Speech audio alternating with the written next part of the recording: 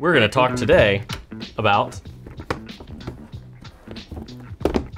Pineider pens. These three Pineider pens are new.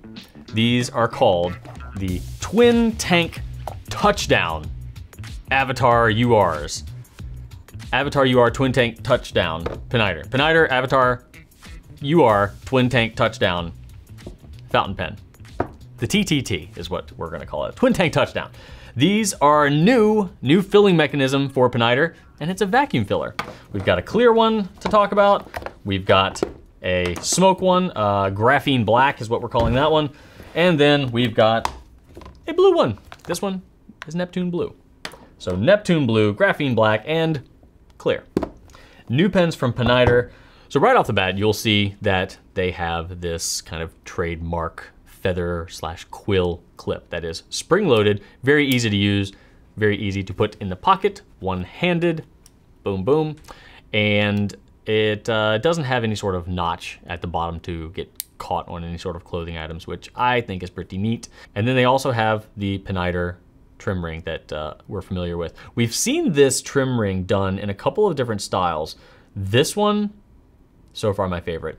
It has a really, really smooth texture. This doesn't look laser etched like some of them have been in the past. The laser etching ones don't feel quite as pleasant as this. This one seems more of a uh, an imprint. I don't know what it is, but it feels nice and it looks nice. It is, I believe, Florence imprinted, like the Florence uh, skyline. So right now I'm gonna take a look at the clear version for the most part because it's clear and I wanna be clear with you today. Magnetic cap, that's fun. And it's a pretty solid cap too. This is not one of those caps that, uh, it's not one of those magnetic caps that needs to kind of find its uh, magnetic friend on the other end of things. Like it goes on instantly in any in any direction. Yeah, that's solid. I really like that. All right, metal grip section. It's a little slick. I'll be honest there. It is a little slick there, but uh, it doesn't bother. Metal sections don't really bother me. If slick grip sections bother you, this is a slick grip section. But for me, it's not a problem. The nib is a really lovely nib. Um, this is a number six steel nib. It has Pineider written on both sides of the nib's shoulders, kind of uh, tapering down toward the tip. It's not easily recognizable all the time. I think a lot of people don't even notice that it says Pineider really big down the sides of the nib twice. But it's one of my favorite things about this nib. But the big question mark exclamation point of this pen is here and internally. This is a vacuum filling pen, Pineider's first. So what you'll see right off the bat is two very prominent lock logos here. Um, and then a circle down here on the barrel. You might be able to see it more easily on the black one. You see there's the circle and then the lock logo here. Obviously, it is currently locked. So let's unlock it and see what happens. Whoop! What happened there?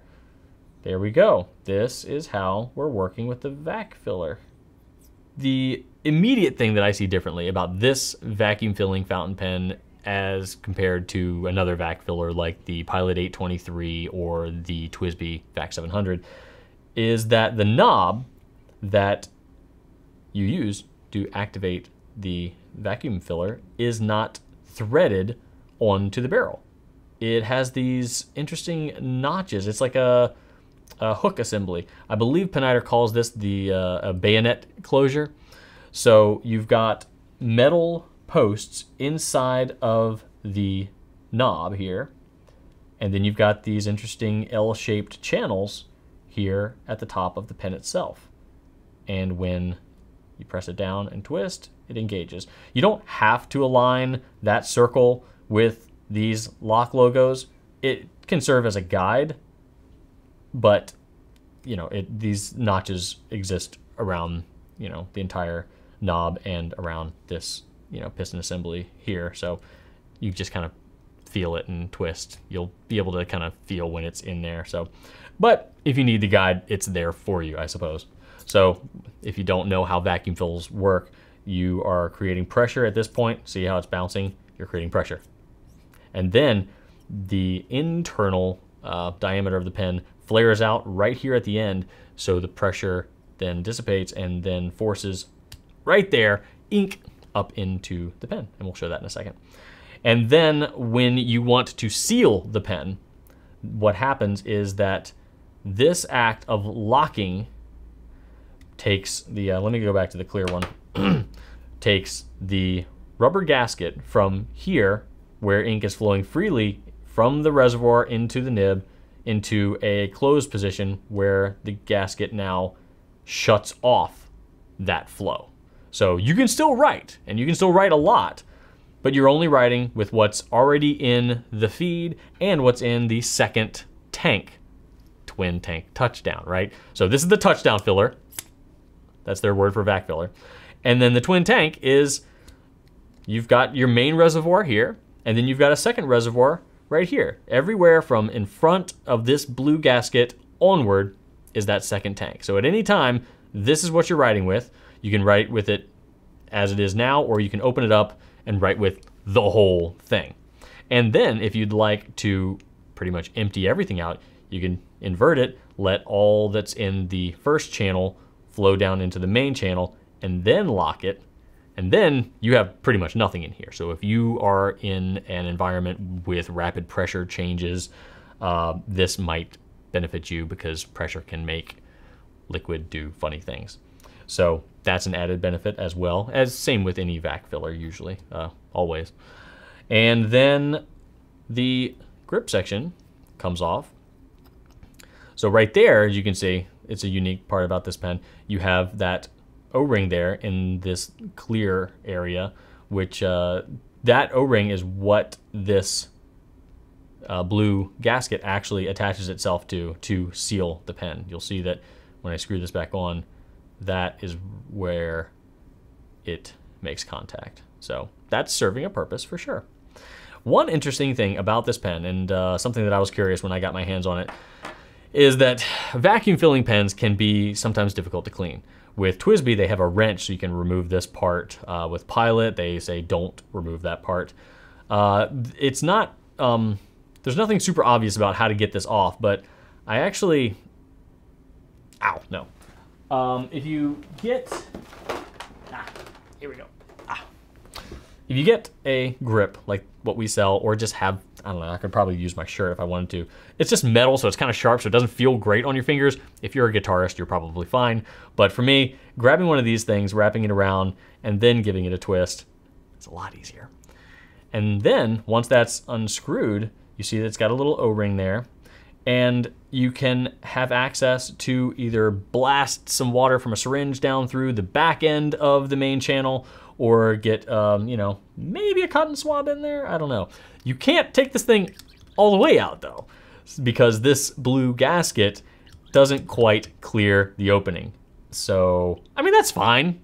You don't really, you can still get up in there if you need to. So it definitely is easier to clean and there's no glue here. It's just threaded. Uh, something that Pineider prides itself on is the um, very minimal, if not zero use of glue in their pens. And then when you're done, you can just screw that back on. That O-ring keeps it nice and sealed. I'll probably take the take this and give it a little bit of a twist. I don't want to overdo it because I don't want to crack anything, but there you go. So relatively easy to clean. Um, this is just friction fit in there, so this can come out. Uh, the feed and the nib can just be uh, pulled for cleaning as well that's always something that I value is user serviceability. So that is pretty much it as far as does it post? Yes, it posts. There we go. Um, it's actually pretty light though. Let me do say that. There's some metal in the back, which you know gives you some nice balanced weight. Um, but overall, it is a pretty lightweight pen given the circumstances. Now, it does have a big ink capacity, so filling this with ink is going to totally change its weight. But uh, overall, not a cumbersome pen at all. Pretty lean uh, in terms of its profile as well. But I'd like to ink it up and write with it. All right, we're gonna fill it. And these are always super fun to fill too, so yay! Um, unhook, draw up, press down, and dun, dun, dun, boom! Ah, that's fun! All right, I'm gonna go ahead and lock this thing down. Okay, so locking it does not expel any ink. That's always nice. I didn't think it would, but yeah, you never know. Okay, extra fine, Pineider, Avatar, Twin, Tank, Touch, Down, Fountain Pen. And it's writing. It's writing well. I can feel it, but it's an extra fine, so that makes sense because most extra fines, you can feel those in, on the paper a little bit. Smooth flow.